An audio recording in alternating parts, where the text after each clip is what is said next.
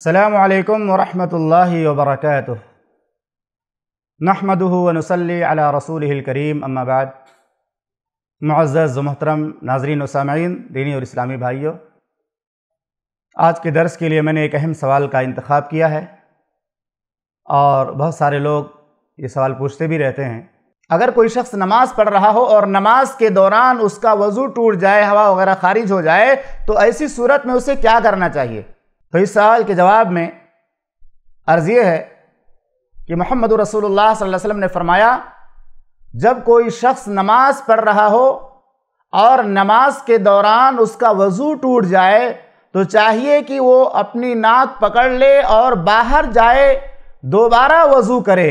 और ये जो रवायत है, ये सुनन अबू दाऊद की एक हज़ार एक सौ चौदह नंबर की रवायत है। आयशा सिद्दीक़ रज़ियल्लाहु तआला से रवायत हो बयान करती हैं कि मोहम्मद रसूलुल्लाह सल्लल्लाहु अलैहि वसल्लम ने फरमाया, इज़ा अहदस अहदकुम फ़ी सलातिही फलियाखुद बिअनफिही सुम्मा लियनसरिफ जब तुम में से किसी शख्स का वज़ू नमाज़ के दौरान टूट जाए, उसे हदस लाहिक हो जाए नमाज़ के दौरान तो उसे चाहिए कि अपनी नाक पकड़ ले और अपनी नाक पकड़ कर वहाँ से चला जाए। इस रायत का माना यह होता है कि जब कोई शख्स नमाज़ पढ़ रहा हो और नमाज़ के दौरान उसका वज़ू टूट जाए तो उसे चाहिए कि वहाँ से वापस वज़ू खाना जाए और दोबारा वज़ू करे और दोबारा वज़ू करने के बाद अपनी नमाज़ फिर से शुरू करे। अगर कोई आदमी मुनफरिद है, अकेले नमाज़ पढ़ रहा है तो बिल्कुल मसला वाज है कि उसकी नमाज़ वहीं से मुनक़ हो गई, वहीं से नमाज़ उसकी ख़त्म हो गई है, जहाँ से उसका वज़ू टूटा। अब उसे दोबारा वज़ू करके फिर दोबारा नमाज़ उसको शुरू करनी है। फिर से उसको नमाज़ पढ़नी है। लेकिन अगर कोई शख्स इमाम के पीछे नमाज़ पढ़ रहा है, इमाम के पीछे कोई मुख्तदी की हैसियत से नमाज़ पढ़ रहा है और उसका वज़ू टूट जाए तो ऐसे मौके पर जहन में एक सवाल आता है। वो सवाल ये है कि ऐसा शख्स सफ़ों के दरमियान से या सफ़ों के सामने से कैसे गुजरेगा? जबकि मोहम्मद रसूलुल्लाह सल्लल्लाहु अलैहि वसल्लम ने नमाजी के सामने से गुजरने से मना किया। अब अगर वो पहली और दूसरी सफ में है और पीछे बहुत सारी सफ़ें हैं तो उसके लिए मसला खड़ा होगा।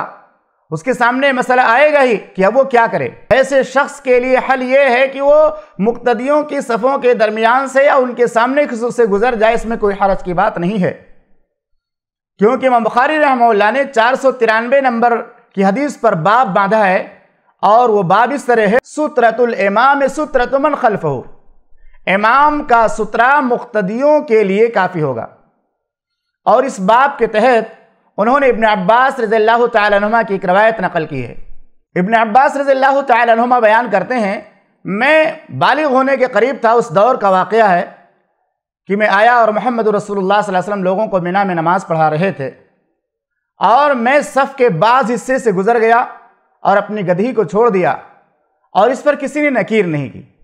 इससे बात वाजह हो गई कि अगर कोई मुख्तदी है तो मुख्तदियों की जो पीछे सफ़ें हैं, उन सफ़ों के दरमियान से या उसके सामने से गुजरने में कोई मजायका नहीं, कोई हरज की बात नहीं है। क्योंकि जब इमाम नमाज़ पढ़ा रहा होता है तो इमाम का सुतरा मुख्तदियों के लिए काफ़ी होता है। खुलास कलाम ये कि अगर नमाज़ के दौरान किसी का वज़ू टूट जाए तो वो वापस वज़ू खाना जा करके दोबारा वज़ू करेगा और फिर दोबारा शुरू से वो नमाज़ पढ़ेगा और अपनी नमाज़ को मुकम्मल करेगा।